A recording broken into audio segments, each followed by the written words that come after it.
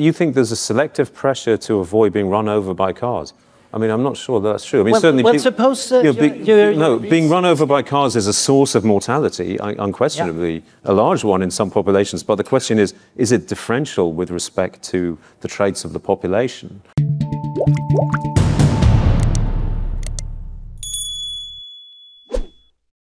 So, is natural selection over, and humans are at a greater risk of succumbing to a new threat or pathogen?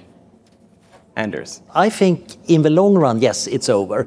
In practice, it's still going, but I think we are taking it over with our technology. I think Freeman Dyson was somewhat wrong when he said it ended 10,000 years ago. That is where the agricultural revolution spread around uh, the world. And we suddenly changed the way we lived starvation was no longer quite the same problem, although it certainly had reared its head many, many times anyway as population grew and Malthusian forces quite often led to horrible disasters and famines. But the food itself, of course, causes selection effects. If you can't digest milk when you're a grown adult, you have an advantage. Now you can use milk products much more readily than if you're lactose intolerant, which is the default uh, situation in humanity. But a few beneficial mutations arose in a few different places and have seemed to have been spreading rather vigorously because they give you an advantage. It looks like there have been changes in gene frequencies and, uh, around.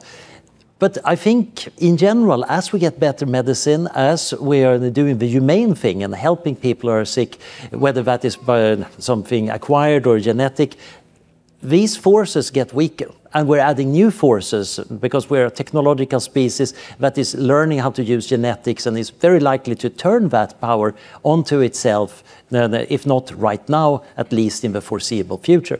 Which would mean that in the long run, I think evolution is not going to be by natural selection, but by technological forces. It would be erroneous to say that selection has been eliminated completely. It's well known result from, from basic evolutionary theory that in a very large population, you really only need small differences in selection, in viability, um, to, to, generate um, selectively induced change in a population.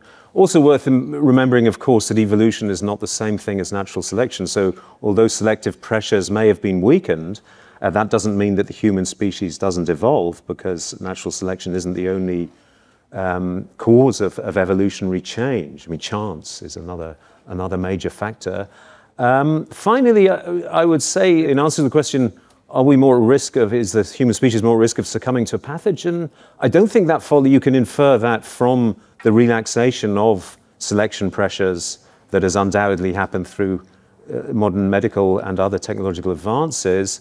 Um, one thing to say about that is just that in a very large species, extinction is less likely. Um, another thing is that when you relax, relax selection pressures, genetic diversity will typically increase. And we usually think of genetic diversity within a species as a buffer against extinction. So I don't think that we can infer anything really about the increased susceptibility of the human species to extinction at the hands of some viral or other pathogen from the fact that selection pressures have changed nature is, of course, very much the environment set up by other organisms, whether that is the virome uh, moving genes around and attacking, attacking bacteria, or, and the organisms surrounding them, or our environment, which is both natural and artificial. After all, there is selection going on for genes that make you less likely to get run over by a car as a kid. Uh, because, well, right now we have selection for that. However, that uh, only came into being relatively recently. And it might be that autonomous cars get really good in a few years, and then that selection just disappears. So whatever those genes happen to be, get different selection. So can I ask about that? So you, th you think there's a selective pressure to avoid being run over by cars? I mean, I'm not sure that's true. I mean, well, certainly. Well, suppose uh, you know, be, you're, no, being run over by cars is a source of mortality, unquestionably yeah. a large one in some populations. But the question is, is it differential with respect to the traits of the population? Uh, if that, I mean, is the idea that small people have a greater risk? Uh, if, you, if you're impulsive because of, let's say, uh, the dopamine system your brain works in a particular way because you have certain versions of those enzymes and the receptors, you might decide to run out in the street much more likely than somebody who's less impulsive. The less impulsive person is less likely to be run over by a car. So in an area where there's a lot of traffic, there is going to be a selection. It's not like there is You a have to have a lot of traffic traffic and a lot of car accidents for that to play out.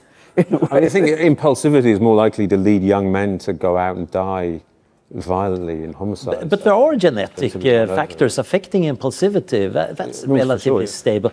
Uh, and many of these factors, of course, affect a lot of different things. So it might be, if you're impulsive, you might also end up in the back seat of a car and, uh, with, with uh, somebody and produce more offspring that way. So these, pat- yep, these patterns are quite often really messy and affected by this environment. For example, there are some genetic variants that correlate with having more in the kids. So they would seem to increase your fertility. Why aren't they all over the place? And the answer is they seem to be very culture dependent. Uh, there are different genes when you test it in different places and probably different types. So none of them really win out because we humans are changing the context. I know Sunetra was talking about cooperation. To continue watching this video, click the link in the top left or in the description below. With a free trial, you can enjoy the full talk and thousands more. Thank you for being part of the conversation.